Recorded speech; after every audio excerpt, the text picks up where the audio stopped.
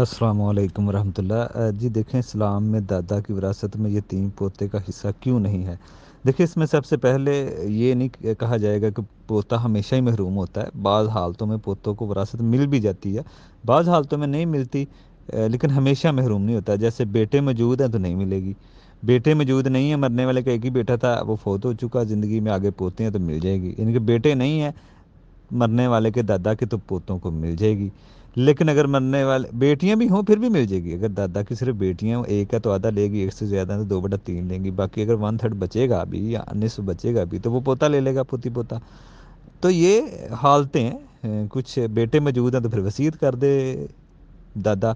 वसीयत से मिल जाएगा, अगर विरासत से नहीं मिल रहा, इसमें जमा उलामा का तकरीबन, लेकिन वरासत में वसीयत फिर फिर दे दें, अगर वरासत से नहीं मिल रहा, अगर एक दरवाज़ा शरीयत ने बंद किया है तो आप वसीयत से कर दें वन थर्ड वसीयत पोतों पे हो सकती है, अगर बेटे मौजूद हैं। लेकिन अगर बेटे मौजूद नहीं है तो फिर वसीयत नहीं होगी, फिर उनको वरासत ही मिल जाएगी, क्योंकि गैर वारस पे वसीयत है। जब वो गैर वारस बन रहे हो तो वसीयत होगी, जब वारस बन रहे हो तो फिर वसीयत नहीं होगी।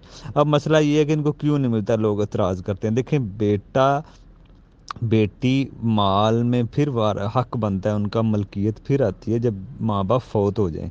माँ बाप की ज़िंदगी में वो मालिक नहीं होते माँ बाप ही मालिक होते हैं अपने माल के। बेटे मालिक नहीं होते तो फिर बेटा या बेटी फौत हो जाए तो वो उस टाइम पे फौत हो गए कि जब उनका हिस्सा ही नहीं बना। बनता हिस्सा विरासत में। मरने के बाद ज़िंदगी में वो मालिक नहीं होते, ज़िंदगी तो माँ बाप ही मालिक होते हैं।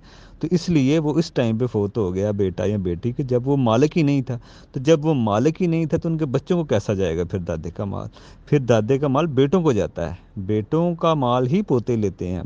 पोतों का अपना वरासत में ऐसा नहीं होता, जब बेटे ना हो तो बेटे का माल पोते ले लेते हैं। जिस तरह बाप का माल दादा ले लेगा, अगर बाप नहीं है तो फिर दादे को जाएगा मरने वाले के।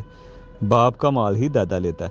तो ये इसमें शक्लें होती हैं कि अगर मरने वाले के बेटे मौजूद हैं तो बेटे महरूम होंगे। तो ये दो सूरतें जहन में रखें। और एक वजह ना मिलने की देखें जब एक, एक, एक एक दादा बीमार हो जाए तो दादा के बेटे भी मौजूद हैं और दादा के पोते भी मौजूद हैं। तो लोग किन को कहेंगे कि अपने दादे का कोई ख्याल रखें उनकी खिदमत करें उनको उनको देखें? तो बेटे को कहेंगे ना लोग बेटों की ज़िम्मेदारी है। तो इसलिए फिर बेटे हक रखते हैं। अगर बेटे नहीं है मरने वाले के पोते हैं तो लोग किसको कहेंगे? अपने दादे का ख्याल रखो, वो बीमार है, वो ज़रूरतमंद है तो पोतों को कहेंगे ना। तो इसलिए फिर ये मसले को आप समझ लें कि जो बेटे हों, वो करीब होते हैं, फिर दूर वाले महरूम होते हैं। तो इसलिए फिर बेटे ना हों तो पोतों को मिलता है।